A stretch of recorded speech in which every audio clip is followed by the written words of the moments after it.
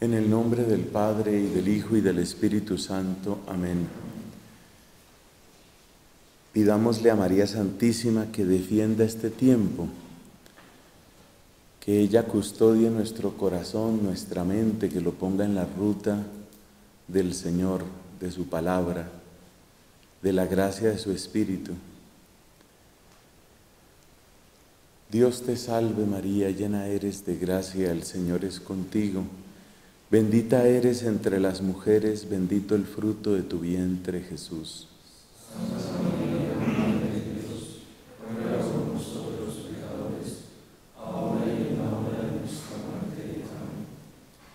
En el nombre del Padre y del Hijo y del Espíritu Santo. Amén. Hermanos, vamos avanzando en nuestro camino. Recordemos los tres objetivos que tiene nuestro retiro Hemos dicho la contemplación es posible. Hemos dicho hay cosas concretas que podemos hacer para disponernos mejor hacia una vida contemplativa. Y hemos dicho que la vida de contemplación no es un obstáculo, sino que bien entendida es una gran preparación para una verdadera obra de evangelización. Esos son nuestros propósitos. En nuestra primera reflexión hemos comentado sobre las señales de un contemplativo. Quiero rescatar sobre todo el tema de la fascinación. Hay que volver sobre eso porque es uno de los elementos que va a aparecer en el primer personaje bíblico que vemos, en Moisés. En nuestra segunda charla hemos comentado sobre un diagnóstico ¿Por qué el lenguaje espiritual, por qué el lenguaje de la contemplación se ha perdido tanto, especialmente entre las personas consagradas? Pues hay una multitud de razones, pero tal vez la primera, que fue la que más quise desarrollar, es la que influye más.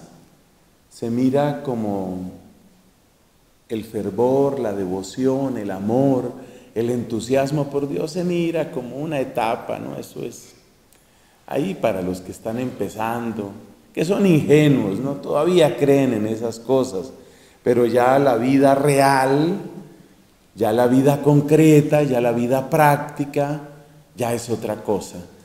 Y por eso a mí me duele mucho considerar que hay muchos sacerdotes que tienen eh, como una especie de fractura, una fractura en su interior, porque en el comienzo de su vida en el seminario tenían unos ideales, después se estrellaron durísimo y después dijeron, yo no puedo seguir con esos fervores, yo no puedo seguir con esos amores y con esa dulzura y, y dulce Jesús mío, yo no puedo seguir con eso, la vida concreta es dura y hay que pero, pero hay una ruptura, ¿no? Hay una fractura dentro de la persona. Bueno, y, y, no voy a repetir aquí pues la charla, pero ese era un elemento principal. Y el gran desafío es darle unidad al proceso. Desafío para nosotros mismos y desafío para las generaciones que vienen detrás de nosotros. Recuerde que tenemos en San Agustín ese gran modelo de una persona que va sumando. Él no deja de ser un contemplativo cuando se vuelve un obispo. Él no deja de anhelar el encuentro con el Señor cuando está en medio de los problemas tan concretos, tan prácticos de la administración de una diócesis. Así que eso tiene que llamarnos la atención. Uno lee a San Agustín y siente que estuviera leyendo a un monje, como una persona que vivía solamente imbuida en el misterio divino. Por supuesto, la vida de él tenía que tener muchas cargas, pero se ve que la vida de él fue una suma, él fue sumando, no fue intercambiando, ¿no? Bueno, con esas premisas vamos a avanzar, vamos a tomar tres personajes bíblicos para que nos hagamos una idea de cómo funciona este retiro. Los tres personajes entre muchos eh, que pudiéramos tomar, vamos a tomar tres que son del Antiguo Testamento. Eh, son Moisés, David y Baruch. Por supuesto, más conocidos los dos primeros. Entonces, con el favor de Dios, esta predicación la orientamos hacia el testimonio de Moisés, la siguiente sobre David. Luego vamos a tener dos predicaciones sobre sendos salmos que son de algún modo herencia de David, con el intento de buscar en ellos esas pistas concretas de las que hemos hablado. Entonces, esa es la ruta de las siguientes predicaciones. Primero hablamos de Moisés, luego de David, luego tomamos un salmo, luego tomamos otro salmo, luego nos vamos a Baruch y a partir de ahí vamos a tratar de ir concretando con el testimonio de la Virgen y de los apóstoles, vamos a tratar de ir concretando elementos que puedan integrarse en nuestra vida ordinaria. Recuerde que el ideal de este retiro, el, el deseo de este retiro es que, pues que no quede solamente como unos momentos que pasamos, unos días que pasamos, sino quizás con el favor de Dios como una reorientación lo hermoso de un retiro es que le dé a uno un cambio estable, permanente, que uno pueda decir a partir de ese retiro, la calidad de mi respuesta al Señor mejoró. Bueno, entonces vamos con Moisés. Son cuatro los elementos que vamos a ver sobre Moisés. En primer lugar, queremos mirar un poco la libertad de Moisés, porque es evidente que toda vida contemplativa supone una libertad. La persona amarrada, la persona atada por distintas idolatrías, era lo que veíamos en la charla pasada, la persona que está atrapada por una idolatría, pues no puede llegar, a una vida de verdadera contemplación, porque esa persona pues tiene frente a sí la palabra de Jesucristo, ¿no? Que se le opone. Cristo dijo, no se puede servir a dos señores. De modo que mientras haya idolatrías, claramente no despegará una vida de contemplación. Y por eso siempre, al mirar estos temas hermosos, estos temas de, de, vida de oración, es necesario empezar por la libertad. Fíjate que los grandes tratadistas de la vida espiritual, si uno piensa, por ejemplo, en un Columba Marmión, si uno piensa en un Reginaldo Garrigula Grange, si uno piensa en una Santa Teresa, en una Santa Catalina, en un San Juan de la Cruz, es decir, todos los que hablan de estos temas siempre describen el comienzo de una vida espiritual como una especie de liberación. Liberación. Lo primero es soltar, lo primero es desatar cadenas, lo primero es liberarse. Eso es indispensable.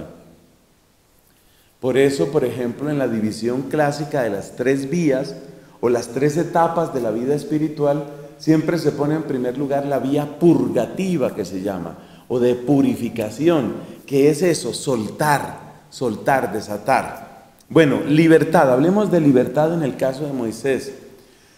Yo quiero decir una cosa, la idea de Moisés, la imagen de Moisés que proyecta la llamada teología de la liberación, es una imagen realmente muy cuestionable desde el punto de vista bíblico, porque nos han presentado, en la teología de la liberación nos han presentado a Moisés básicamente como, como un líder social, casi como un Simón Bolívar, una especie de, una especie de luchador por los derechos humanos.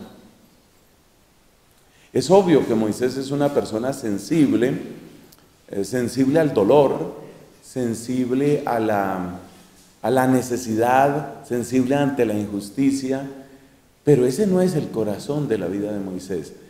Entonces, necesitamos ponerle un signo de interrogación a esa imagen del Moisés que sería como una especie de Martin Luther King del siglo XIII antes de Cristo. Le vamos a poner un signo de interrogación y lo vamos a descubrir precisamente a partir de esta libertad que muestra. Moisés aparece como libre de su pasado cómodo. Recuerde que él fue criado como hijo de la hija del faraón. Moisés pues fue rescatado de las aguas y llevó una vida pues de máxima clase social. Es decir, en las circunstancias de la época, Moisés llevó vida de rico, de niño muy rico. De, cortesano, del que tiene acceso a todos los privilegios, todas las comodidades y todos los placeres. Y es admirable que Moisés no fue atrapado por eso. A Moisés las seducciones de la riqueza, los privilegios de clase no le ganaron. Cosa que es muy interesante. Y es tan interesante que él, habiendo crecido en esas circunstancias, tiene ojos para el prójimo, tiene ojos para aquel que está sufriendo. Recuerda esa intervención que tiene Moisés, que es la que viene a abrirlo como a un cambio en su vida. Él vio que un egipcio estaba maltratando a un hebreo. Puede decirse que por crianza, por privilegios de clase, Moisés estaba muy cerca del egipcio. Casi se puede decir que estaba más cerca del egipcio que del hebreo, porque había vivido en la corte del faraón. Pero Moisés no está atrapado por eso. Y esa es una primera lección para nosotros. El ser liberados de nuestro pasado y el ser liberados de los privilegios que hemos tenido. Esto, esto es llamativo porque si uno está atrapado por, por privilegios, es decir, si uno está acostumbrado a que lo traten como de una determinada forma, Evidentemente el centro va a estar en, el ego de uno, el centro va a estar en eh, los placeres o las ventajas que tenga lo que uno vivió. Entonces, primer acto de libertad de Moisés, Moisés no está aprisionado por el pasado. ¿Qué sigue en la vida de Moisés? Lo que sigue es que después vio que un hebreo maltrataba a otro hebreo. Entonces le dijo, ¿por qué le haces eso a tu hermano? Y entonces el maltratador le dijo, ¿vas a hacer conmigo lo mismo que hiciste con el egipcio? Moisés se asustó, dijo, la cosa se sabe. Y entonces huyó. Y en esa huida, ¿qué termina siendo él? Termina siendo un pastor em, y empieza a tener sus propios rebaños. Es decir, cambia radicalmente de vida. Pero después de un tiempo, pues él tiene su esposa, él tiene sus rebaños, es decir, ya tiene su vida organizada. Pero de nuevo es libre. Porque de nuevo, cuando sucede el episodio de la zarza, que está en el capítulo tercero del libro del Éxodo, cuando pasa el episodio de la zarza, ¿qué le sucede a él? Que es libre. El Señor lo envía donde el faraón. Y claramente al ir donde el faraón, lo único que le queda de su pasado con los rebaños, que es? El callado ese con el que él va a seguir. De algún modo esa es la única continuidad con su pasado. O sea que Moisés también es libre de la estabilidad que había adquirido, libre del pasado y libre de la estabilidad. Si nosotros unimos esas dos libertades, ¿eso qué significa? ¿Eso cómo lo traducimos? Es un hombre disponible es decir, aquí ya hay como una especie de eco temprano de aquello que dice el Padre nuestro. Hágase tu voluntad. Moisés es un hombre que está disponible, es un hombre que se deja cambiar la ruta. Me gusta esa expresión, un hombre que se deja cambiar la ruta, un hombre que se deja cambiar la dirección. Es decir, él tiene un plan para su vida, no estamos hablando ni de un loco, ni de un vago, ni de un oportunista. Es una persona que tiene un plan. Cuando tiene sus rebaños, tiene sus rebaños. Pero él no está atrapado por la prosperidad de su rebaño. Moisés es un hombre que está libre de esos rebaños. Y eso significa que cuando Dios le dice, ahora cambia tu ruta, ahora empieza para ti otra etapa, Moisés queda perplejo, Moisés se siente abrumado, pero finalmente da el paso. Finalmente avanza en esa dirección. Eso, eso nos está hablando de la libertad de Moisés. Claro, a medida que yo voy diciendo esto, hay que irlo relacionando con nuestra forma de vida. Fíjate que esto tiene mucho que ver, por ejemplo, con el voto de obediencia. Esto tiene mucho que ver con la disponibilidad que es propia de una persona consagrada.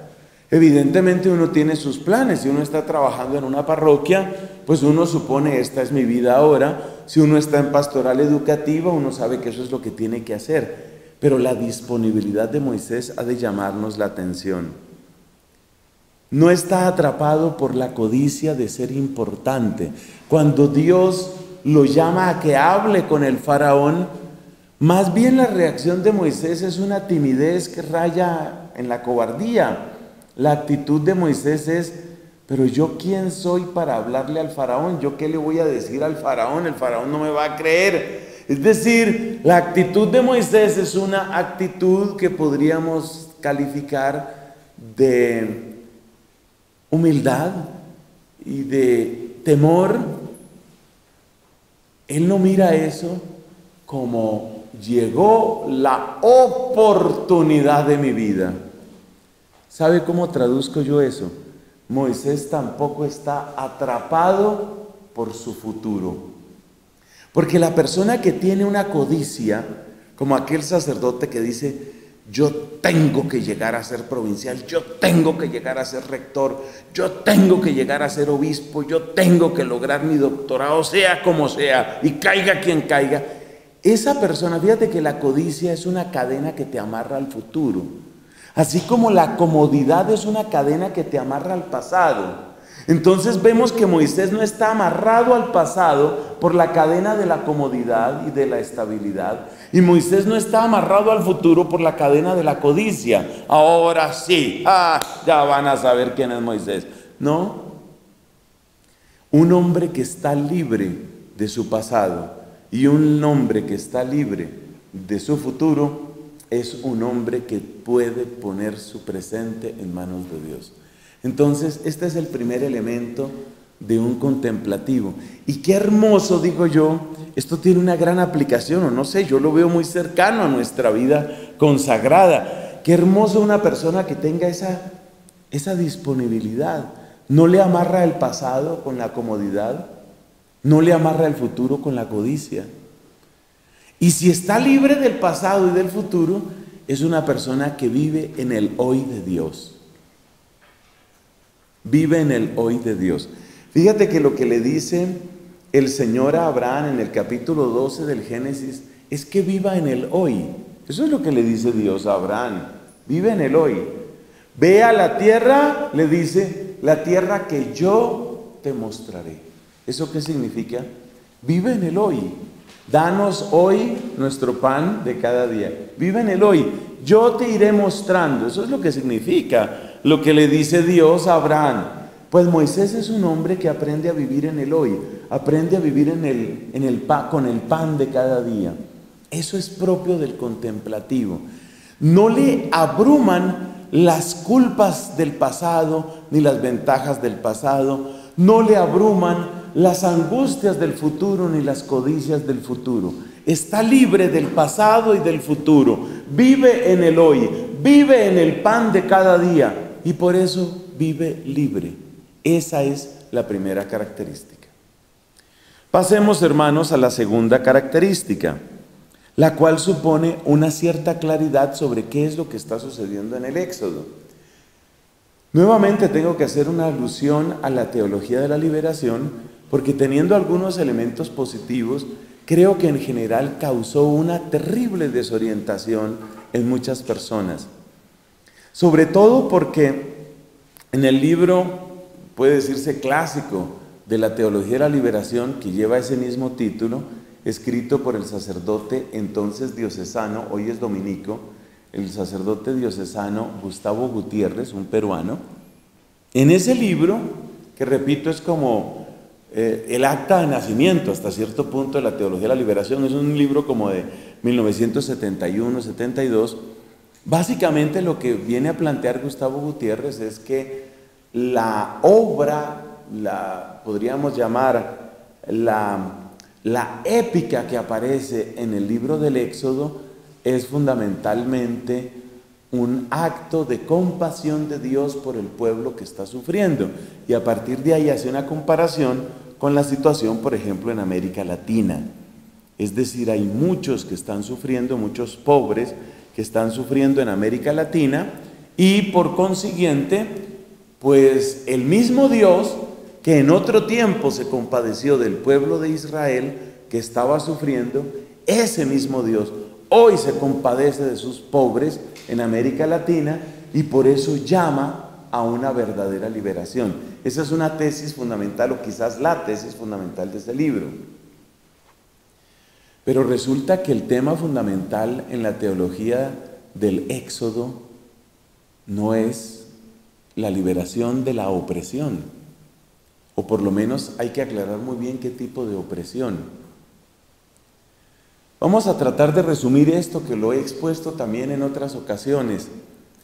Si uno mira bien, uno se da cuenta de que el principal problema del pueblo hebreo no era la opresión económica. Se lo voy a resumir en tres datos así muy cortos. Primero, consta por la historia y por la arqueología que los egipcios trataban muy bien a sus obreros. Las investigaciones arqueológicas han mostrado que las ciudades en las que vivían los obreros que construyeron las pirámides eran ciudades bastante comparables al régimen normal de vida de los demás egipcios. Es decir, no tenían condiciones extremas ni de dolor, ni de carencia, ni de opresión. La razón por la que los egipcios trataban con esa consideración a sus esclavos o a sus obreros seguramente no era humanitaria. La razón principal es la misma razón por la que un campesino no maltrata a su ganado. Es su ganado, tú no maltratas a tus vacas porque pues de ellas vives y cuanto más saludables y fuertes estén, pues más ganancia para ti. Pero lo cierto es que la opresión económica no tiene respaldo en la investigación arqueológica. Tampoco tiene respaldo en el texto bíblico, porque en el texto bíblico, fíjate lo que sucede, cuando Moisés va a hablar con el faraón, lo primero que le dice no es, voy a sacar a los hebreos, no, lo primero que le dice es, deja, ¿cómo es? Deja salir a mi pueblo para que me celebre. Tenemos que salir tres días de camino para que me celebre en el desierto. Eso es lo que Dios manda decir por boca de Moisés. Y entonces el faraón entra en pánico y el faraón dice, ustedes son unos perezosos. Y añade esta frase que es fundamental para el análisis que estamos haciendo. La frase que dice el faraón es, mire, ustedes son unos perezosos, tienen que producir la misma cantidad de ladrillos. Los ladrillos que ellos producían eran adobes y los adobes se hacían con barro apisonado junto con paja. La paja em, le da como una especie de estructura al barro y esa mezcla de paja y barro secada al sol produce una especie de ladrillo. Esos son los adobes. Entonces, ¿qué les dice el faraón a Moisés y a Aarón? ¿Qué les dice? Les dice, les vamos a dejar de dar qué? La paja. No les vamos a dar más la paja. ¿Eso qué le indica? Usted que es persona inteligente, con vocación exegética probablemente, usted analice esa frase. No les vamos a dar más la paja para los adobes. Pues eso significa que antes les estaban dando la paja para los adobes, obviamente. ¿Y eso qué significa? Eso significa que o bien los mismos egipcios, o bien otro pueblo, otros de menor condición, les estaban proveyendo a los hebreos de ese insumo, esa materia prima necesaria para hacer los adobes. Y eso a su vez, ¿qué indica? Indica claramente que los hebreos tenían el estatus no de esclavos oprimidos y reventados por el trabajo, no, tenían el estatus de obreros que así como un obrero en nuestro tiempo necesita que le den su ropa de trabajo, su subsidio de transporte y su materia prima, así también esos obreros que eran los hebreos necesitaban recibir esos insumos. ¿Cuándo se empiezan a quejar los hebreos? Cuando les toca ir a conseguir la paja. ¿Y contra quién se quejan? No contra el faraón, se quejan contra Moisés. Eso demuestra que los hebreos no estaban en el último renglón dentro de la escala social. Los hebreos eran un ingrediente indispensable en la economía de Egipto, en ese tiempo y a ellos como obreros se les proveía de una materia prima. Eso demuestra que no estaban en lo último de lo último de la escala social.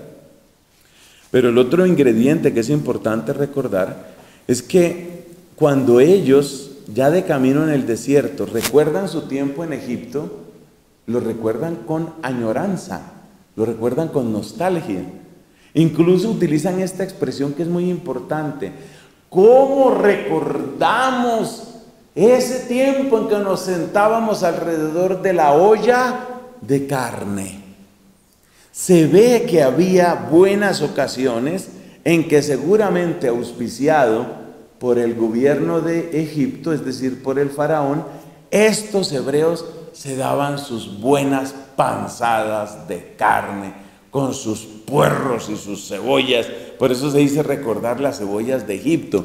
Esa no es la vida de gente que estuviera pasando por extrema opresión en términos económicos. Mucho peor fue la situación que les tocó en el desierto. Ahí sí la cosa era bien complicada. Tan complicada que ellos recordaban con añoranza, con añoranza recordaban lo de Egipto. O sea que quitémonos la idea de que el problema principal del éxodo es un problema económico, eso no es cierto. Los hebreos podríamos decir que eran una clase proletaria, una clase media, una clase baja si lo quieres, pero el problema principal no era la opresión. Entonces, ¿cuál es el problema principal? ¿Y qué es lo que quiere Moisés? O si digo mejor, ¿qué es lo que quiere Dios a través de este servicio de Moisés?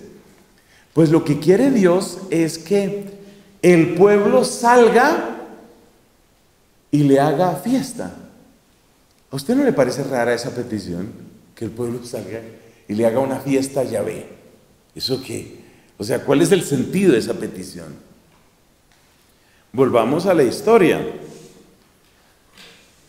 Llegaron los patriarcas, tradicionalmente hablamos de los hijos de Jacob, Llegaron los patriarcas allá, a Egipto. ¿Qué era el pueblo elegido en ese momento? Pues el pueblo elegido eran los descendientes de Abraham, Isaac y Jacob. Ese era el pueblo. Bueno, llegaron estos a Egipto. ¿Y qué pasó en Egipto? Pasó que ellos no se mezclaron con los egipcios, ellos tenían conciencia de que eran distintos a los egipcios, no se mezclaron. Precisamente esa fue la razón por la que el faraón dispuso que mataran a los niños hebreos, para forzar la mezcla de razas. La idea eugenésica, ojo con la palabra, la idea eugenésica del faraón era, mire, si dejamos a los hebreos sin varones, tarde o temprano las mujeres hebreas tendrán que unirse a nosotros y se acaba la división racial.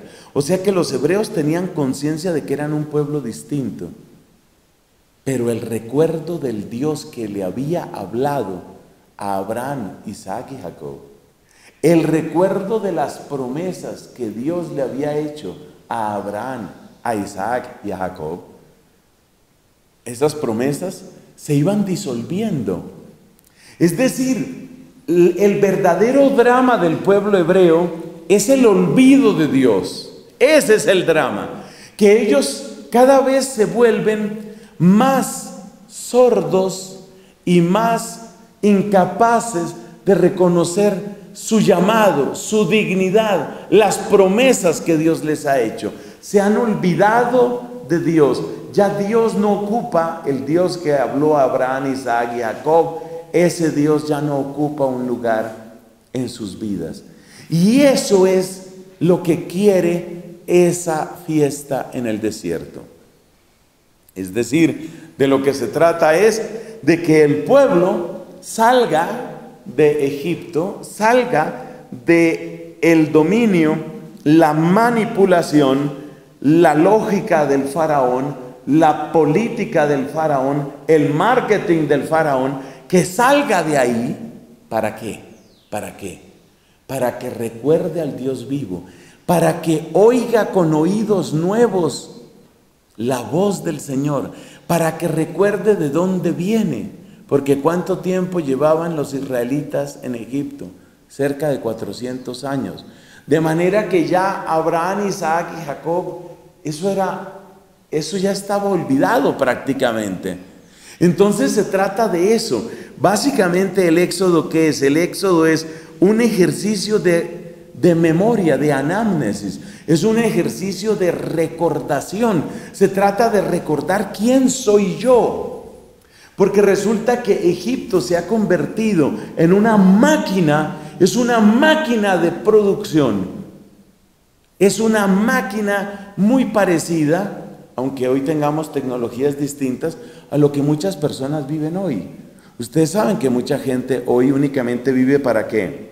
Pues vive para producir, consumir y entretenerse. Y esa es una rueda. Mire, muchas personas en nuestras familias viven así simplemente. Producir, trabajar, trabajar, consumir, consumir y el poco tiempo que queda, pues para divertirse o para entretenerse. Esa es la rueda. Esa es la rueda que ya sucede en Egipto. Entonces Egipto es una máquina y los hebreos son un engranaje dentro de esa máquina. Esa es la realidad. Entonces puede hablarse de opresión en Egipto, por supuesto, pero la esclavitud en Egipto no hay que reducirla a un tema económico. La esclavitud de Egipto es la reducción de la dignidad del pueblo de Dios a la condición de un engranaje dentro de una máquina, una máquina inmanentista que se reduce a producir, consumir y entretenerse. Entonces, ¿qué es lo que está proponiendo Moisés? Me gusta describir lo que propone Moisés con este resumen. Quiero hacer un retiro espiritual. Eso es lo que Dios quiere hacer. Me los llevo tres días por el desierto. Allá hacemos una celebración, una liturgia y tres días de vuelta. ¿Eso cuánto suma? Una semana. Una semana no va a destruir la economía de Egipto. Es decir, el hecho de que los hebreos tengan una semana de vacaciones o una semana de retiro, eso no va a destruir la economía de Egipto. O sea que la preocupación del faraón no es una preocupación económica. Perdónenme que insista en este tema, pero es que hay demasiado ruido en el ambiente sobre el éxodo. No es un tema económico. Cuando Moisés le habla al faraón y le dice, necesito una semana, tres días para ir, un día de fiesta y tres días para volver, una semana no destruye la economía de Egipto. El problema no es económico. Entonces, ¿por qué Faraón se opone? Porque es que el tema del éxodo es un tema religioso. Es decir, lo que Faraón se da cuenta es que él gobierna en Egipto como un dios. De hecho, así vivían los faraones. De hecho, la casta sacerdotal, que era la que tenía el poder realmente en Egipto, infundía en todos la idea de que el faraón era de otra raza, que el faraón era de raza divina, que el faraón era de tal manera Dios e hijo de dioses que estaba prohibido al faraón tener sexo con una persona que no fuera de su familia. Por eso en Egipto era no solamente permitido, sino obligatorio el incesto para la familia eh, del faraón. El faraón solo podía tener sexo con sus hermanas. ¿Por qué? Porque el faraón era de otra raza. El faraón era divino. El faraón pertenecía al ámbito de los dioses. Entonces, ¿qué pasa? Lo que le pasa al faraón en Egipto es lo mismo que le pasa luego a Herodes cuando le dicen que ha nacido el Mesías. Es exactamente lo mismo. Es decir, Faraón se da cuenta de que si esta gente se va a hacer su retiro espiritual y si esta gente redescubre a Dios, pues entonces yo no soy Dios para ellos. Y eso es lo que no puede tolerar el faraón. Porque el faraón actúa quiere actuar, le han enseñado a actuar y le han presionado para que actúe como un Dios. Yo no puedo tolerar eso. Yo no puedo tolerar que la gente tenga un retiro espiritual. Es decir, esto le puede sonar a usted la cosa más loca del mundo, pero sabe una cosa, el faraón a lo que le tiene miedo es al retiro espiritual de los hebreos. Faraón le tiene miedo a los contemplativos. ¿Por qué? Porque el contemplativo es el que se sale de esa rueda. ¿Cuál es la rueda? La rueda es producir, consumir, entretenerse, producir, consumir, entretenerse. Y esa rueda no para, esa rueda no para. Y hay que mantener a la gente en eso. Y hay que mantenerlos atontados, atontados, trabajando, trabajando, comprando, comprando, divirtiéndose, divirtiéndose. Por eso hay que mantenerlos drogados, por eso hay que mantenerlos borrachos, por eso hay que mantenerlos metidos en la pornografía, obsesionados con el sexo. Por eso, todas estas campañas de sexo seguro, todas estas campañas de promoción abierta del homosexualismo, todas estas campañas de corrupción de menores son para qué? Para que todos estemos metidos en la rueda, para que la gente no piense sino en trabajar duro para tener mucho dinero y con ese mucho dinero entonces pagarse grandes vacaciones, entretenerse, pagar prostitución, pagar droga. Hay que legalizar la marihuana, como sea, como sea hay que legalizarla. ¿Por qué? Porque cuanto más drogados, cuanto más borrachos, cuanto más adictos seamos, mejor funciona esa rueda. El faraón sigue vivo, hermanos. El faraón sigue vivo. Y la única manera de salir del faraón se llama hacer retiro espiritual. En el silencio, en la oración, en la escucha, uno recupera su dignidad. Por ejemplo, nosotros, uno recupera la dignidad de su vocación religiosa. Oye, yo me había vuelto un trabajador eso es lo hermoso de hacer bien un retiro espiritual, que uno pueda decir, yo me había vuelto un trabajador. Yo era como, como otra secretaria, como otro profesor, como otro prefecto, yo era otro. Trabajar, trabajar, dele, dele, la maquinita, el engranaje. Uno hace una pausa, uno hace una pausa, uno se recoge delante de Dios, uno hace los tres días de desierto Luego hace esa liturgia y luego retorna a su vida, pero uno retorna a su vida con la conciencia de que, un momentico, yo no soy simplemente un trabajador. La diferencia entre mi vida y la vida de cualquier otro profesor o cualquier otro empleado, cualquier otra secretaria, no es simplemente que yo tengo derecho a utilizar hábito algunas veces. No. Yo soy otra cosa. Ese es el papel del retiro. Y eso es lo que no tolera el faraón. Entonces date cuenta todo lo que empobrecemos el relato del Éxodo si lo volvemos un relato económico. Queda convertido Moisés en un sindicalista, promoviendo una huelga. Mire, Faraón era demasiado inteligente, o sea, podía hacer todo lo corrupto que tú quisieras, todo lo incestuoso que tú quisieras, pero Faraón no tenía un pelo de tonto, Faraón sabía lo que hacía. Que por una semana se vaya a dañar la economía de Egipto, claro que no. El problema no era económico, el problema es si esta gente hace retiro, es decir, traduciendo aquí para nuestro ambiente, si esta gente se me vuelve contemplativa, pues entonces ellos van a empezar a obedecer a Dios.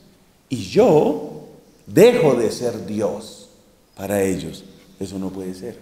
Eso no puede ser. Entonces, ese es el verdadero tema del Éxodo, ese es el propósito del Éxodo. Recordar a Dios y a sus promesas, recuperar la dignidad. la dignidad estaba perdida. ¿No ve que eran engranajes? ¿Y no ve que el mundo quiere volvernos a todos engranajes? Engranajes de esa ruedita, ¿no? Producir, consumir, entretenerse. El mundo quiere meternos ahí, a todos, incluyendo sacerdotes, obispos, provinciales y por supuesto los profesos agustinos. El mundo quiere meternos a todos ahí, a todos.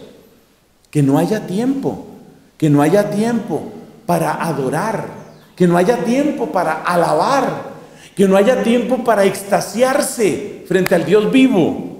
No, no debe haber tiempo para eso. Hay mucho que hacer. Mucho, mucho que hacer. Hay que llenar esta planilla, hay que responder este formulario, hay que, hay que, hay muchas cartas que hay que enviar, hay muchas entrevistas que hay que hacer. Listo, más trabajo, más trabajo. Eso es lo que le dice Faraón a Moisés, más trabajo. Es decir, si a ustedes les está quedando tiempo libre, ese es un peligro para mí. Nada más peligroso que un corazón libre, nada más peligroso que una mente libre.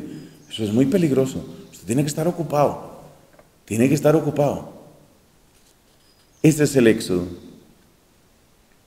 Perfil. ¿Quién es Moisés? Es curioso que si ustedes miran en todo el Pentateuco, se van a encontrar que las dos descripciones más profundas de quién es Moisés están en esas dos palabras. En el Deuteronomio están esas dos frases. Muy buen ejercicio, ya que ustedes tienen sus Biblias, muy buen ejercicio que las busquen hasta que las encuentren. No había en la tierra alguien más humilde que Moisés. Y no había en la tierra alguien que sufriera más que Moisés. Fíjate que la humildad de Moisés, la humildad de Moisés es lo que permite que todas las amenazas le pasen por encima, ¿no? Mientras que el ego nos infla y nos hace blancos muy fáciles de los dardos del enemigo, la humildad, la humildad nos hace pasar debajo del radar del demonio. Hay un pasaje muy bonito de la vida de San Antonio Abad que siempre me impactó. San Antonio iba caminando hacia la ciudad, quizás sería Tebas o sería Alejandría, y en esa visión que él tuvo mientras él iba caminando, observó que a su lado caminaban otros pero no eran personas, eran demonios que iban también hacia la ciudad. Y resulta que cada uno de esos demonios en la visión que tuvo San Antonio llevaba un modelo, un tipo de red, de unas formas y de otras. Cada uno llevaba redes, obviamente, para atrapar los corazones ¿no? de la gente allá en la ciudad. Y San Antonio cuando vio a derecha e izquierda ese espectáculo bárbaro, se puso a llorar y se puso a clamar al Señor y le dijo, pero así quién se salva. O sea, si son tantos los demonios, si son tantas las redes, si son tantos los ídolos, ¿quién se salva? Y entonces le responde Dios, solo el humilde escapa de todas las redes. Claro, se puede llevar una red, pero la red que atrapa a un rinoceronte, pues no atrapa a un cerdo y la red que atrapa a un cerdito no atrapa a una mosca y la red que atrapa a una mosca no atrapa a, un, a una ameba y así sucesivamente. Entonces, es eso, la humildad es la capacidad de escapar de todas las redes. Decíamos en el primer punto que Moisés es libre, Moisés es una persona libre. Y fíjate la relación entre la libertad y la humildad. El humilde no se deja atrapar por ninguna red. San Juan de la Cruz tiene una expresión muy bonita tomada de su comentario al cantar de los cantares, frase que me impacta mucho, y es no detenerse ni por las flores ni por las fieras, refiriéndose San Juan de la Cruz al hecho de que los grandes obstáculos en la vida espiritual son las flores y las fieras. Las flores son los encantos y seducciones de este mundo, las fieras son las amenazas, las persecuciones y las burlas de este mundo. Entonces fíjate que el humilde escapa de las flores y de las fieras. No le seducen los placeres ni las comodidades y no le alcanzan a frenar ni las amenazas ni las persecuciones. Esta es la importancia de la humildad. Entonces no se puede ser contemplativo sin esto. No se puede ser contemplativo sino desde la humildad, porque el que tiene la conciencia de su verdadero tamaño y el que es capaz de decir solo Dios es grande, el que tiene conciencia de eso es el único que se vuela de todas las redes que vio San Antonio Abad. Pero también es necesario el sufrimiento. ¿Por qué es necesario el sufrimiento? La respuesta está en Juan capítulo 15. En Juan capítulo 15 nos dice nuestro Señor Jesucristo que todo árbol que da fruto, como es toda vid que da fruto, o como es toda rama que da fruto, dice él, mi Padre la, la que la poda, ¿no? Y ese podar, ese es el sufrimiento. Entonces no se puede llegar a la verdadera libertad interior sin un camino de penitencia interior y de persecución exterior. Es iluso pensar que uno va a llegar al camino de la contemplación a través de la simple tranquilidad. Tal es la promesa del Zen, ¿no?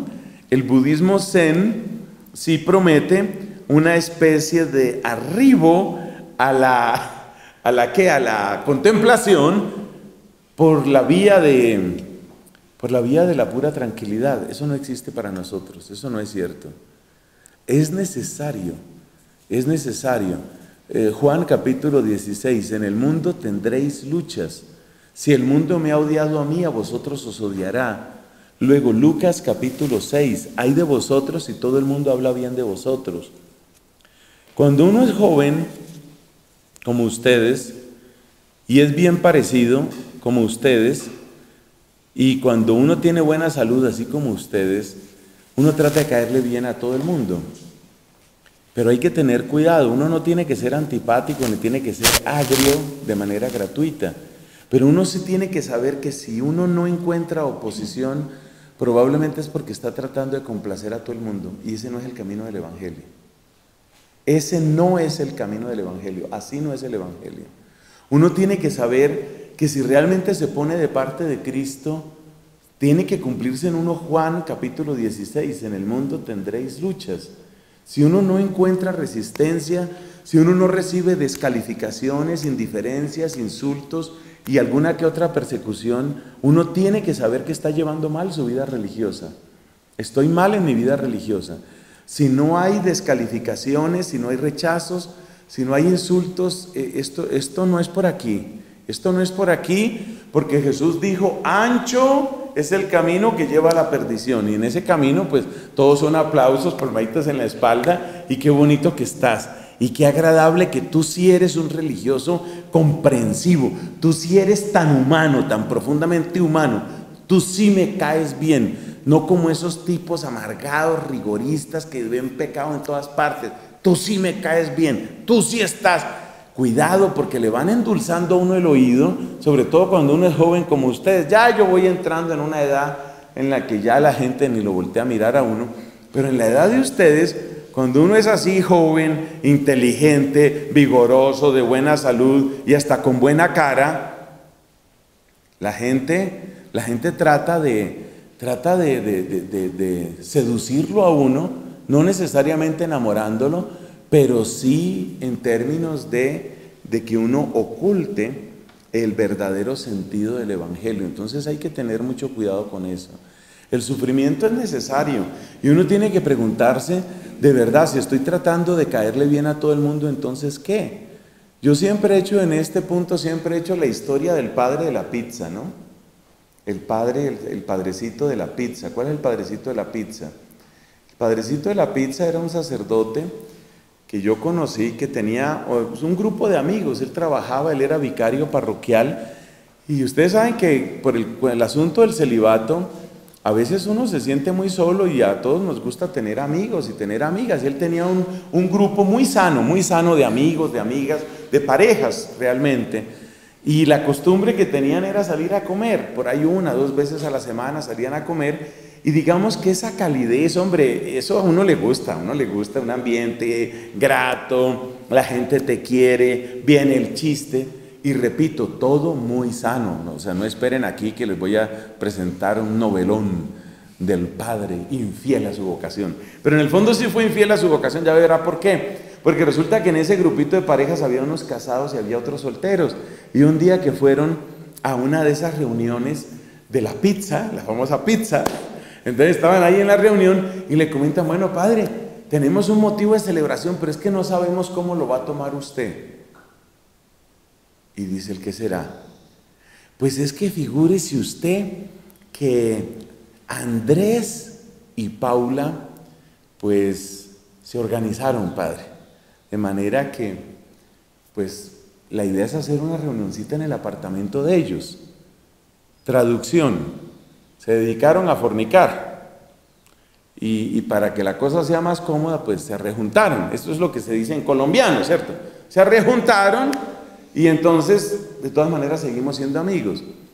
Entonces ahí viene el problema para el sacerdote.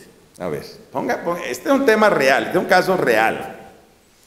Usted es amigo de todas estas parejas y resulta que en la pareja hay dos que abiertamente van a convivir como si fueran marido y mujer pero sin casarse. De hecho, se van a vivir a un apartamento y de hecho invitan al grupito de amigos, incluido el cura, oiga, incluido el cura, lo invitan para una comida para celebrar que se organizaron, que se organizaron. Oiga ese verbo, se organizaron, no se han casado, ni por lo civil, ni por la ley del monte, mucho menos por la iglesia, sino que simplemente se organizaron. ¿Qué hace usted ahí? ¿Qué hace usted ahí? Claro, el padre se dio cuenta que cualquier, cualquier alusión a la palabra pecado, yo pierdo mi grupito de amigos, que es el grupito que me quiere, que es la gente que me rescata de la soledad espantosa de mi celibato duro. Pobre padre estaba sufriendo con su celibato y él para no ser infiel en su celibato había considerado lo más sano para mí es ser amigo de un grupo de parejas, pero en el grupo de parejas pasó esto.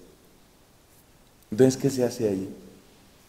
Entonces voy allá a la voy allá a la reunión en el apartamento, el apartamento de los fornicarios, ¿no? Voy allá. Bueno, bueno, ¿y qué más? ¿Mucha fornicación o qué? ¿Bien todo? O sea, ¿qué hago? ¿Qué hace un cura en el apartamento de los fornicarios? ¿Qué hace? Pero si no voy, y si yo digo, no, pero es que espere, que es que así no es. Entonces ya, no, Padre, no, antes te sentíamos, ¿sabes qué? Te sentíamos como uno de los nuestros. De verdad, de verdad, Padre. Tú nos enseñaste un Jesús amigo, porque de una vez lo extorsionan a uno, ¿no? Tú nos enseñaste un Jesús amigo, un Jesús cercano. Pensábamos que tú tenías mente abierta. Pensábamos que tú estabas más allá de esos legalismos. Pensábamos que le, habías entendido el lenguaje al Papa Francisco. Pero ya vemos que eres otro retrógrado. Pues vete, pedazo de dinosaurio, vete a rezar a tu sacristía y a vivir la dureza de tu puerco celibato. Claro, el padre teme esa descalificación. Entonces, ¿qué termina haciendo? Agacha la mirada y bueno, se presenta ya al apartamento y comenta que están muy bonitos los floreros y que les quedó muy bien el tapizado y que las lámparas, esas son de las ahorradoras. Y se come un pedazo de pizza y se va, procurando que el Santísimo no lo vea. Eso se llama traición. Eso le pasa a uno. Y ese padre no estaba enamorándose de ninguna mujer, no, estaba, no, él estaba tratando de vivir su celibato. Estaba tratando de vivir su consagración, pero es para ilustrar cómo siempre hay que pasar por ahí. Yo no estoy diciendo que cuando le hablaron de esa manera él debió pararse en la pizzería y decirles, jamás, jamás permitiré yo que un par de pecadores... No. No hay que ser dramáticos, pero tampoco hay que ser cómplices. Lo único que yo te digo es, que a ti te llegara lo mismo que me ha llegado a mí y lo mismo que le llega a todo el que quiera servir a Cristo, te llegarán momentos con pizza o sin pizza, te llegarán momentos en que tú descubrirás que ser fiel siempre implica sufrimiento y siempre implica que alguien te mire con ojos de desprecio y diga, yo esperaba más de la iglesia y esperaba más de usted, pero me doy cuenta que la iglesia sigue siendo la institución medieval inquisitorial, retrógrada y jurásica. Claro, lo que más le duele a uno es que le digan jurásico. Pues se quedarán sin fieles. Quédense ustedes con sus acólitos. Eso tendrá que pasar. Y si a ti no te sucede eso, probablemente es porque tú estás hablando de los floreros las lámparas ahorradoras y la buena vista del apartamento y no tocas, no tocas el tema duro. Ese tema no se toca. Bueno, terminemos. El centro de la vida de Moisés, ¿cuál es? El centro de la vida de Moisés es Dios. Él es un contemplativo. La frase que resume el corazón de Moisés es, déjame ver tu rostro. Un hombre que tuvo todo en la corte del faraón, un hombre que tuvo sus rebaños, un hombre que tuvo su esposa, un hombre que tuvo las alegrías del hogar, un hombre que tuvo el máximo liderazgo religioso y político, se vuelve un mendigo. Óigame esa palabra. El hombre que lo tuvo todo se vuelve un mendigo ante Dios. No se puede ser contemplativo si uno no es mendicante. Hay que volverse mendigo ante Dios. Regálame, regálame tu rostro, Señor. Regálame tu sonrisa. Dame una gota de tu preciosa sangre. Déjame saber de ti. Es aquí donde uno entiende, y eso que somos una manada de mediocres, pero uno entiende un poquito a estos místicos. Por ejemplo, la manera como San Juan de la Cruz lee el cantar de los cantares. Cuando dice, por ejemplo, el amado le dice a la amada, déjame ver tu rostro, déjame oír tu voz. Ese es el lenguaje que tiene Moisés aquí. Yo quiero oírte es a ti. Sé lo que dice el faraón, sé lo que dice el mundo, sé lo que dice la gente, ya sé cómo aplauden, ya sé cómo aclaman, ya sé cuánto prometen, ya eso lo conozco muy bien, todo eso lo conozco bien. Déjame, déjame ver tu rostro. Finalmente, ¿qué es un contemplativo? Hermanos míos, un contemplativo es un mendigo que se acerca consciente de su infinita necesidad.